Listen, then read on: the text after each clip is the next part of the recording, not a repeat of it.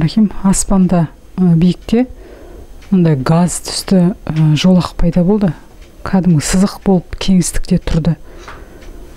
Ә, сосын кеш батып келе жатқан даланың көрінісі пайда болды. Жер жердің өзі қанық қызыл қошқыл түсті болып тұрды.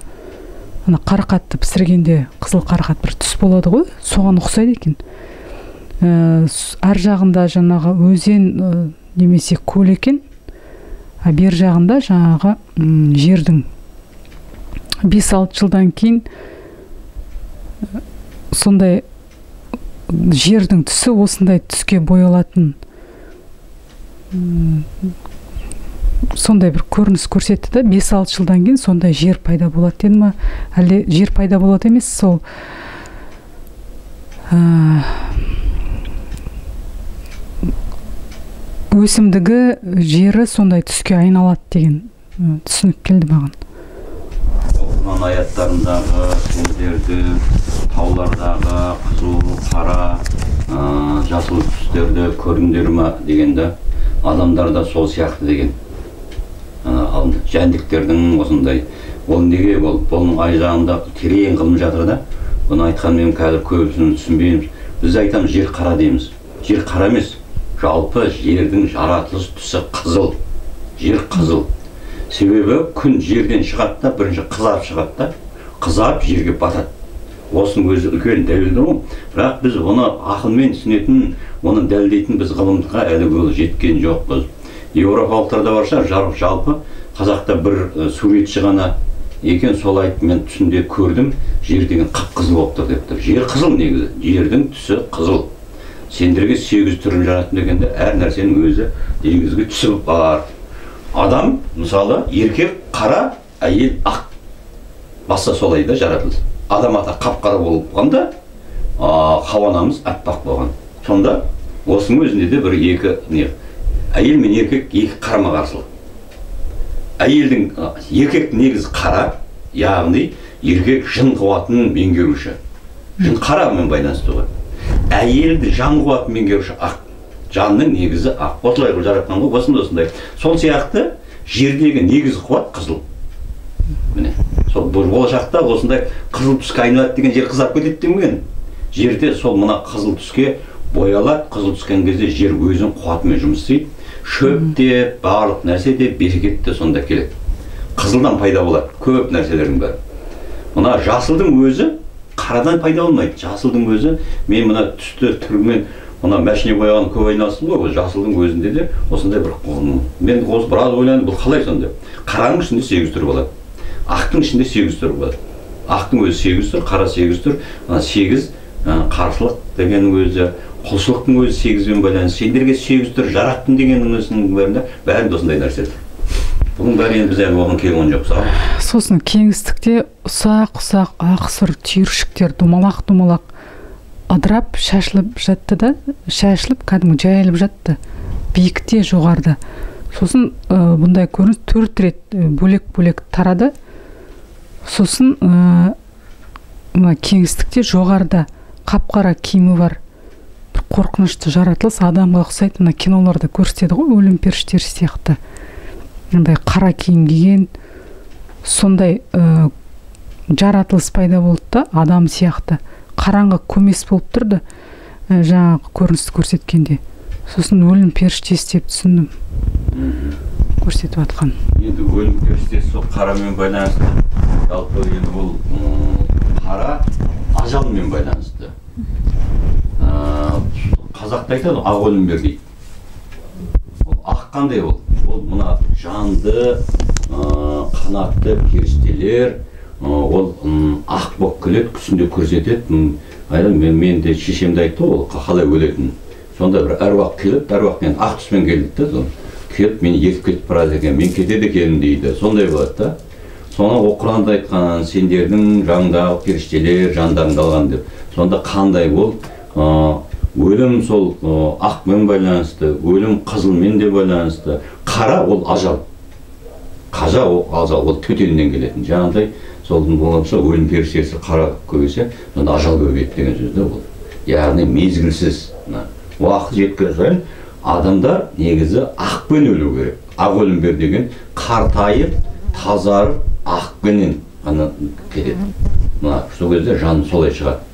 А қарамен шығу деген ол енді сол дозақтық ал қанипа сізді көрдім. Ә, сәждеде екенсіз ә, намаз оқып жатырсыз ба? Содан кейін ә, ойладым сол оқылып жатқан құран хатымдар барлығы сіздің осы жайылған қос алақаныңыз арқылы қабыл болып жатыр екен. Ә, алақаныңызды көрсетті. Сонда м, кісілердің үш жұртының аттарының тізімдіктері алақаныңызда жазылып тұр екен. Соны көрдім. Соң аспандағы бұлттың ішіндегі ай нұры бұрынғысынан бірнеше есе қуаттанып жарық нұр шашып тұр екен. Сосын ә, таяқша тәрізді жарық нұр жылт етіп бір ә, бұлттардың арасынан бір көрінді. Кеше түскен түсті ғой мына айдан жұлдыз нұрлар жұлдыз шашылып жатыр деп.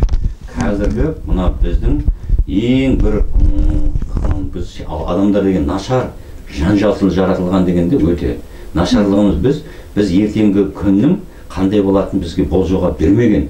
Енді қазір айтып жатыр осы біз анау коронавирусты екпемен емдейміз ананы бүйтеміз мұны айтса айтамыз осылардың бәрі бүгінгі күнмен да біз ертең құдай не беретініне шаруамыз жоқ. Міне қазір ай деген бұрынғы ай емес еселеніп жатыр. Біз өлшейтін оқыған жоқ. Қазір осы құрбандық ба еселенді бұның бәрі еселеніп нұрланып келіп жатыр да сол енді алланың өзінің белгілі берген жобасы бар. Мына әлемге мынандай берілді мына елге мынандай берілді. Сол қуаттарды ол біздің жерімізге байланыса түседі. Ал енді қазір содан біз кеш келе жатырмыз да қазақтың енді қаншама есін аман алып қалуға болар еді да ертең сол нұрлар біздің табанымыз қаншадан сол нұрлы қорытуға жетеді сол уақытта нұр түсе бастаған кезде көбісі сол нұрға шыдамай шіріп кетеді тез өліп кетеді жаңағы қара ажал келеді. Осылардың бәрі біз ол алланың бірақ ол да ол нығметі. Өлімнің өзі алланың берген нығметі. Кімді ерте алып кетсе оны қайтадан өмірге тезірек қайтарады ол ана. Ал енді ол сол қалпыменен хайуан сияқты өмір жүре берсе ол мүлде жоғалып кетеді мінекей. Өзінің тұқымына балдарына бәріне зиян тигізеді. Коронавирус деген бұл келген әлемге деген алланың әділдік таразысы бұдан кім аман қалады күресіп шығады ол болды ол ұзақ уақыт өнім береді яғни ұрығы несі қуатты болады құрқын ал құр құл екпеменен дәріменен аман қаламын деген бәрі ол түбі жойылады бел болмаса ендігі жұрт бұл тоқтамайды бәрі еселене береді енді сол мына коронавирустың қазір бүгінгі екпеге қарсы осындай екпе жасап жатыр ма ертеңгі нұрға ол әшейін ақ болып қалады соны қазір айтып жатыр енді тағы да енді түп ешқандай әсер бермейтін түр пайда болды деп жатыр. Бірақ оны біздің қазақ халқы біздің елбасшымыз кезінде ең соңынан егемендік алдық бізге деген сияқты ғой ең соңынан барып түсінетін. Осыған біз келдік тұрмыз. Айтқанды түсініп жатқан жоқ. Оны енді ол енді бізге де бұйырса ата жолына келген сынақ. Ал қабыл болсын.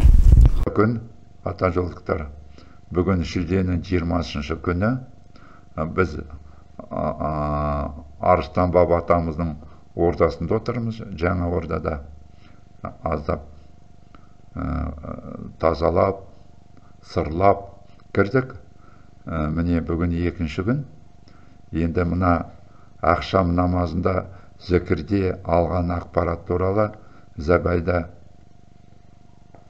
ә, шығыс қазақстаннан келген қонағымыз өзінің көрген алған ақпаратымен бөлісті сөз сізде. Ақшам зікірінде көргенім әулие ата келді. Ол кісі мынандай ор- ортамызға ол кісінің есімін немесе түр келбетін айтып бере аласыз ба? А, түр келбеті ә, бойы ұзын ақ киім киген сымбатты денелі ы, ы, жүзі жылы сондай кісі. Ә, бұл кісімен сіз бұрын кез- көрдіңіз ба бұрын? Иә бірнеше рет көрген атам және де бұл кісі бата да беріп кеткен өзіме ә, осындай ә, өзімді жөнге салып көбінде жөнге салып сол бата беріп кетеді жетелеп жүретін онда бұл. жетелеп жүреді иә. Бүгін не айтты келгенде? Содан кейін үн, тастап кетіп ке- кеткен э, уақыты бар Э, мұндағы айтқаны құрбандық қанменен көп қаралық кеткен жайы бар деді. Бірлікке салдым жер көк адамзат тазаруда. Жер ауыр- ауыртпашылығы жеңілдеді. Халық оянуда. Халық арасында серпіліс басталды. Иман жүздер көбеюде деген үн салынды о керемет жақсы ақпарат екен. Қабыл болсын. Бүгін шілденің 22 күні э, кешкі зікірде алған ақпарат көрген көрініс забида сөзді сізге береміз. Бисмиллахи рахим ортамызға арқырбай ата келді. Ол кісі мынандай ортамызға үн салды. Өмір өткел өтеді де кетеді. Қылыш сабындай қысқа өмірде құлшылық жасап өткен өмірге дайындық жүргіз. Бұл өмірдің қызығы мол бірақ өтері жылдам деп айтты. Екінші көріністе баянбай ата келді. Құлшылығыңды арттыр қаралықпен күресуге. Әрқашан дайын бол шыңдал көрінбейтін майданда күрескер бол деді. Үшінші көріністе гауһар ана келді. Ордаға келіп жетіп е, су себелеп алыстап кеткен жайы бар. М, тағы көріністе домалақ ана белгі беріп бойымызға әрқайсымызға ем жүргізіп кетті. Бүгін шілденің 23-і таңғы намазда арыстан баба ордамызда отырмыз Ә, көрген көрініс алған ақпарат забайда сөйлеңіз бисмиллахи рахим бірінші көріністе арыстан баба келді мынандай ортаға үн тастады бұл қиын күндеріңнен өтерсің мақсатқа да жетерсің құлшылықпен жарасып көп қаралықты жеңіп алға түсер кез болар мхм. тек тұрмас ата келді ол кісі өнер білім ілім біріктіріп дамытып бойға күш алып жетерсің мұратқа деген үн тастады ортаға мхм. Ә, баянбай ата келді ордаға күш қуат құйдым жігерлік салдым жетекке алдым әрқайсысын мхм. деді кеңгірбай би ата ә, әділдік жомарттық көрегендік салдым деген үн келді мхм. жақсы қабыл болсын ассалаумағалейкум әлеуметтік қауым ақшам зікірі ә, 19 шілде ал бүгін келген ақпараттан алтынай апайымыз айтып жіберсін кеш жарық бүгін зікірден мынандай сөздер келді ағылып су төгіледі арсыз жүгіріп арсыз теріс жүгіреді дейді сексеуіл деген ағаш бар дейді сексенге келген арсыз шалдар бар дейді теріс кеткен ойынды тоқтатып қолымен алмайсың. Сабырлы болсаң берік бол дейді. Әділ болсаң мықты бол. Тас тереңге тартады ақыл жақсылыққа нұсқайды дейді. Ана тілін ақ бағын кетсе тілден құрыдың. Жазық далан алтын ғой қадірін соны білмеді ғой дейді. Алтыннан жазылсын ана тіл кетсе қадірі жоғалдың дейді. Жақсы болсаң көршін бүгін жарты баққа кездестің дейді. Ал қабыл болсын енді. Алтын далаң алтын ғой деген ол қазір даланы тастап бәрін қалаға қаштық қой. Сол даланың қадірін білмей бәрін тастап қазір табиғатпен үйлесіміз жоқ. Бәрі тас қамалға қамал болдық соны айтып тұрып жерде соны келтіріп тұр ғой. Далаңды сыйла құрметте деп тұр ғой енді. Қабыл болсын. Шалдар енді қазір рас енді сексеуіл қадірлі ағаш ал қазір сол шалдар. Қадірсіз болып кетті ғой. Сондай салмақсыз соның бәрі ана кешегі өткен өмірдің аруақ бабаларымыз соны ескертіп тұр ғой. Сондай қадірсіз болмаңдар деп. Ал сізге рахмет а, өркеніңіз өссін машық несімен келді жақсы қабыл болсын иә аттары қолдай берсін. Әмин